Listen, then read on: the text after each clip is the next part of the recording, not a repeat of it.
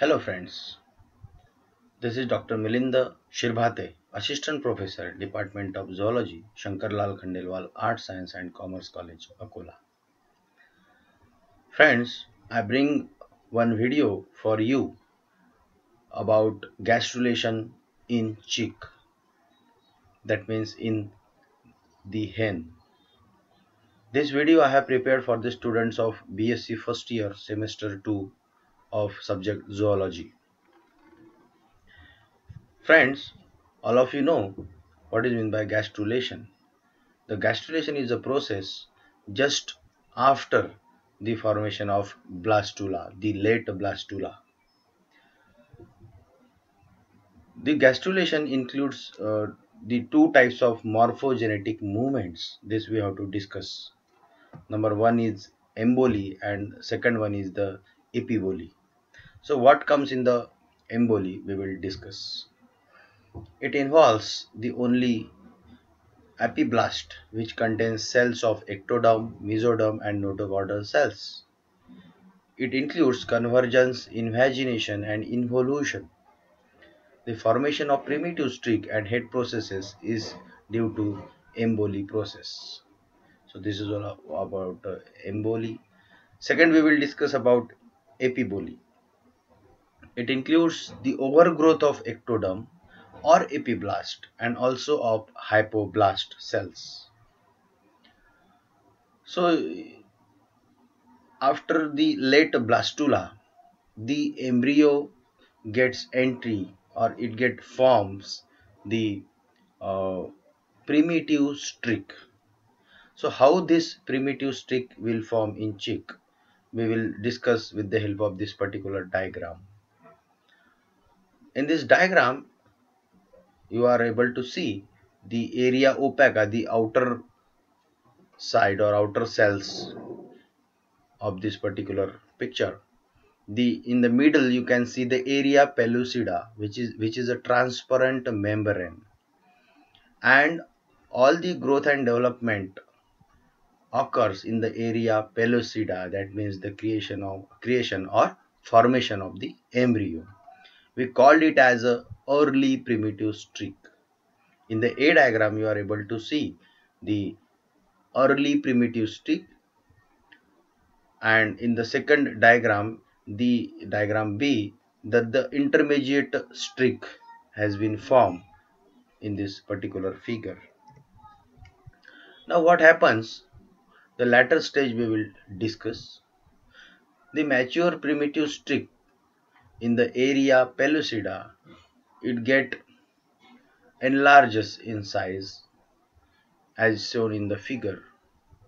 The figure number C that is definitive streak that is stage 4 and in the figure D you are able to see the head process stage that is stage 5th of embryo of 19 to 22 hours of the incubation. So this all the processes are depend on the incubation hours or incubation period to the egg which has been given by the hen itself or you may also give the temperature to this particular fertilized egg inside an air oven. So how the formation of primitive streak occurs we will discuss.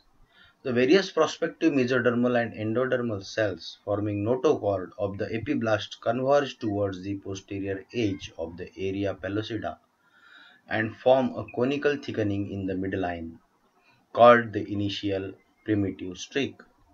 It appears after 6 to 7 hours of the incubation of the embryo or the egg.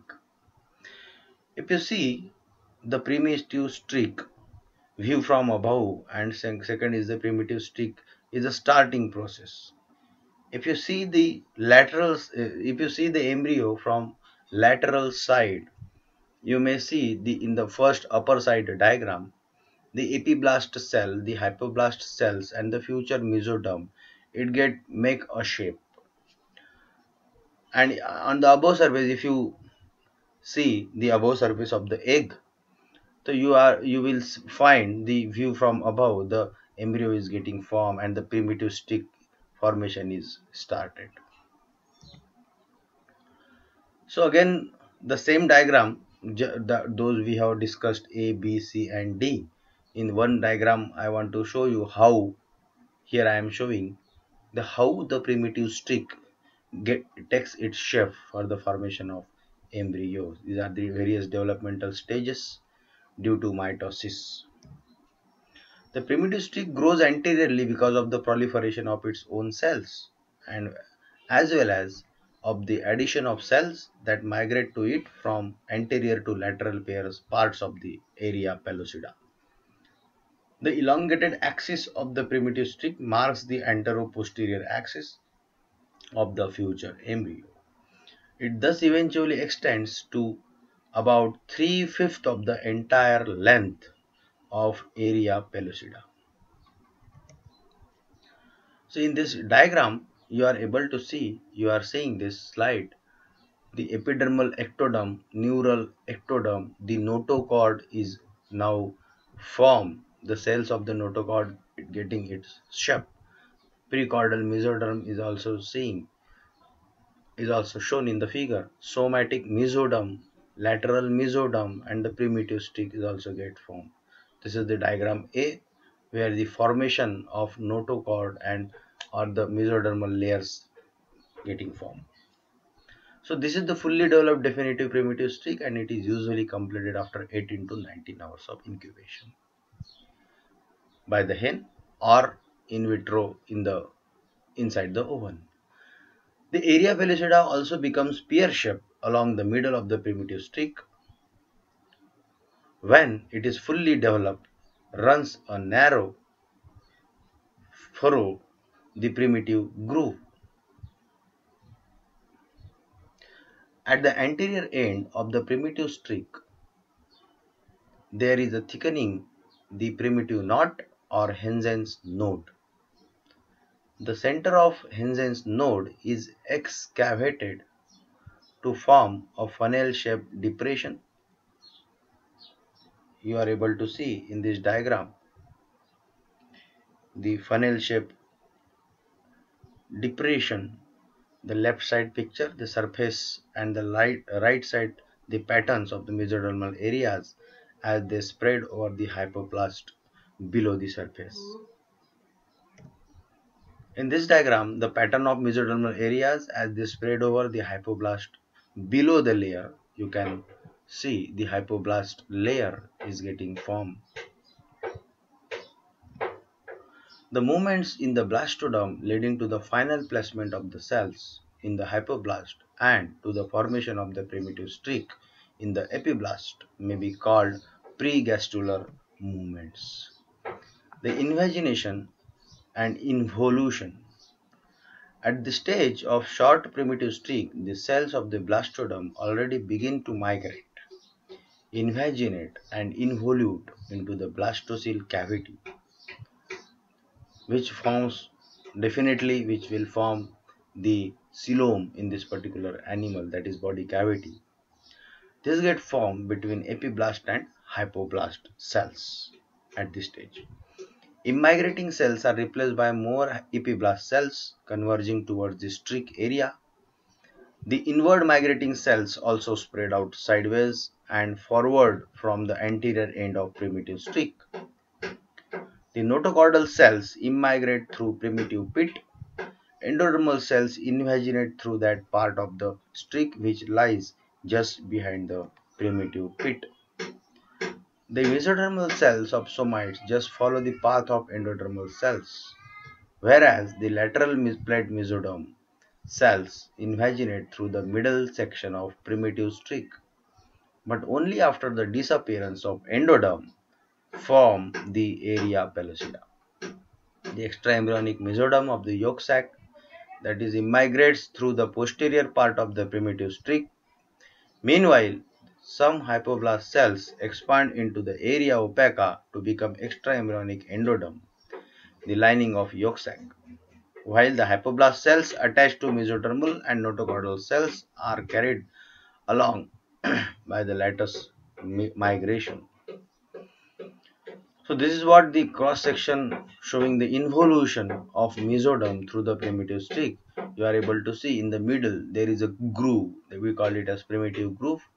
the embryo is getting its shape in this particular diagram. Then formation of head process. The prospective notochordal cells converge on the node, sinks through it and then passes directly forward as a tongue of tissue through uh, or it is also known as head process. It is a tongue of tissue or it is also called as notochord process. So here you can see in this diagram in the middle if you see in the middle this is the head process formation the cursor is I am showing this is the head process formation takes place in, on this particular chick embryo here so here you find the notochord and the aortic root and optic vesicle this is what the head process total prosencephalon and the ectoderm of head this is the growing embryo now disappearance of primitive streak. How the primitive streak get disappears we will see. With the gradual disappearance of the endodermal, notochordal and mesodermal cells from the primitive streak, it begins to shrink from anterior towards posterior side and its remains are partly included in the tail bud and partly into the cloacal region of the embryo. So how it get develops already we have discussed the in the diagram how the development head process but we will see point wise the midline area of notochordal tissue which i have shown in, the in the figure develops into a rigid rod anterior to the receding primitive streak as the streak regressive posteriorly the embryo develops anterior to it the head process consists of thick central mass of the cells and more diffusal or diffuse lateral wings. In the beginning, it is also blended in the midline with the hypoblast. Then the thicker central portions from the definitive notochord, whereas the lateral wings form the paraxial somatic mesoderm. With its differentiation, the notochord becomes detached from the hypoblast below except at the extreme end. Thus, the head process stage is completed at about 20 to 25 hours of incubation. The gastrulation is also completed at this stage. So now the completion of endoderm we will see the next step or next phase of it. The first cells that migrate through the anterior part of streak from form the endoderm as the Hensen's node recedes backward and notochordal processes elongates, the presumptive endoderm of the middle and posterior part of the gut, located just behind the node, migrates inside as an endodermal strip beneath the notochord. The original hypoblast and the floor of the blastocyst contributes a very less amount to the gut. The upper migrated endodermal cells from the major part of the gut in chick, no archenteron is formed during the process of gastrulation. There is no archenteron formation. Now we will see the fully formed gastrula. The gastrula is fully formed when the primitive streak completely disappears. After completion of the primitive streak, there will be fully formed gastrula. The fully formed gastrula consists of the three germ layers that is ectoderm, chorda mesoderm and endoderm which will definitely will convert into ectoderm, mesoderm and endoderm which will form the different types of organs in the body systems. The ectoderm and chorda mesoderm remain in continuity along the axis of primitive streak. The endoderm it is also united with the mesoderm and ectoderm at the anterior and posterior end of the streak that is primitive streak. Now we will see how the three germ layers get formed. With the help of this diagram you are able to see the cross section of early chick embryo illustrating the relationship of the germ layer how they get formed the ectoderm mesoderm and endoderm. So here you are able to see the ectodermal layer here. The somites the neural tube the intermediate mesoderm the somatic layer of mesoderm here here it, it, it is getting formed. And here you find the endoderm at the lower surface. And here is a notochord and dorsal aorta. It's it's now started its development so this is the origin of germ layers with the help of diagram then formation of neutral, uh, neural tube that is neurogenesis. The ectoderm anterior and lateral to the head process becomes thickened to form the neural plate. While the gastrulation process is going on, the neural plate appears in the brain region. Now there will be the fast development of this all the type of tissues inside the embryo. As Hensen's node recedes further and further, parts of the neural plate becomes differentiated and the anterior parts of the neural plate proceed to close into a tube, the neural tube. The formation of neural tube occurs due to sinking in of the neural plate due to which a neural groove is formed along its longitudinal axis. It, its elevated margins are called neural folds which rise up and grow toward the midline and fuse to form a neural tube. The formation of notochord and mesoderm we will see with the help of this particular slide. While the neural plate is folding into the neural tube, the chorda mesoderm is also differentiating. Its most anterior part, the prechordal plate mesoderm, gives rise to the mesenchyme of the head, and behind it, the notochordal cells become separated from the rest of the adjoining sheets of the mesoderm and differentiated into notochord. On either side of notochord are the longitudinal strands of sheets of mesoderm. Now the epimere or the axial or somatic mesoderms are the thicker dorsal medial strands which merge anteriorly into the mesenchyme of the head. The mesomeres or intermediate mesodermal strands are located lateral to the axial mesoderm. They are thin in an early stage. Hypomeres or lateral plate mesoderm lies beneath the mesomeres. Now, most important point in this topic is the formation of somites. The axial or somatic mesoderm beginning, uh, begins to differentiate after the, about 21 hours of the incubation. About one hour later, a second left appears posterior to the first cleft and thus second somite is formed.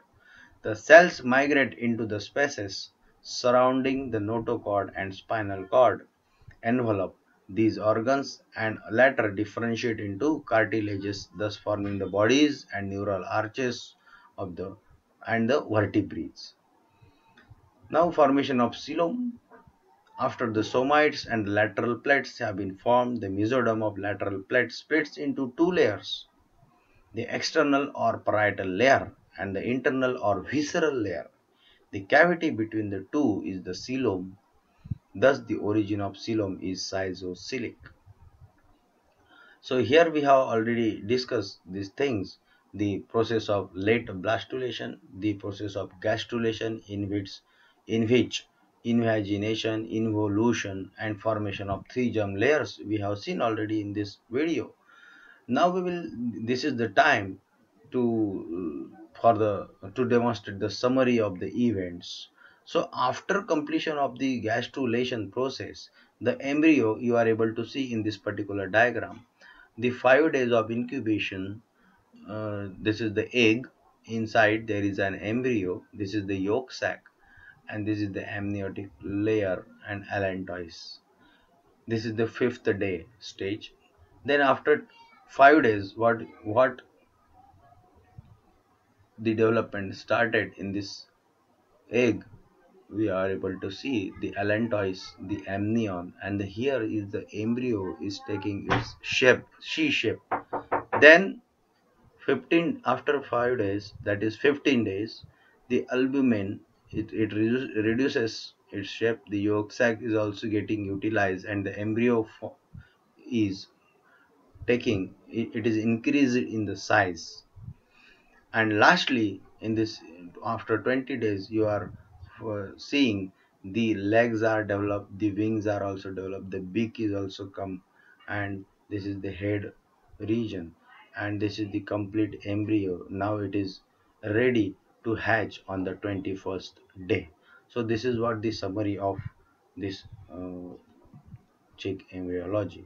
So with this uh, i conclude that this is in this lecture we have already discussed what we have discussed the gastrulation and chick and formation of up to formation of three germinal layers and the summary of the events. That is the formation of chick in detail. Thank you. Thank you very much